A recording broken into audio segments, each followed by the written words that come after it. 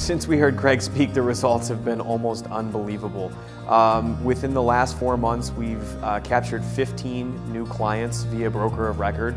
We haven't issued a competitive insurance proposal for any one of those clients, and we literally can see clients and prospectives clients' body language change in meetings when we're having these kind of strategic discussions. It was a complete game changer because I realized that for the last nine years that I've been in this industry, we've been focusing on all the wrong things.